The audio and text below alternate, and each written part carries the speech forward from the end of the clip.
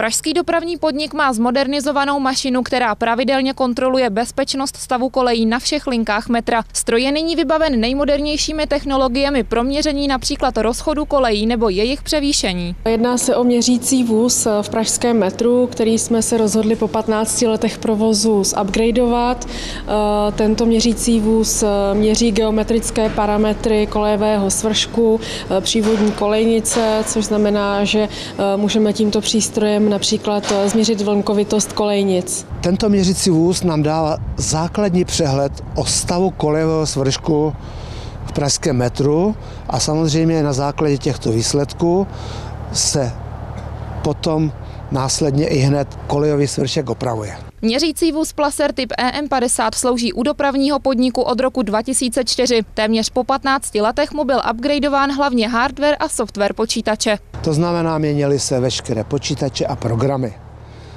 E, v současné době je to vlastně výkonná jednotka, která s ohromnou velkou rychlostí vyhodnocuje tyto parametry a předává je e, na server, který je v tomto měřícím voze a následně se to všechno tiskne.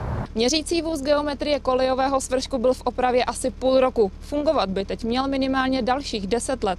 Měřící vůz se na kontrolu všech kolejí pražského metra vydává téměř denně. Měsíčně musí v rámci bezpečnosti projet trasy všech tří linek. Svou práci by teď měl vykonávat rychleji a hlavně přesněji. Jeho modernizace přišla dopravní podnik na více než 108 milionů korun. Kristýna Svobodová, Televize Praha.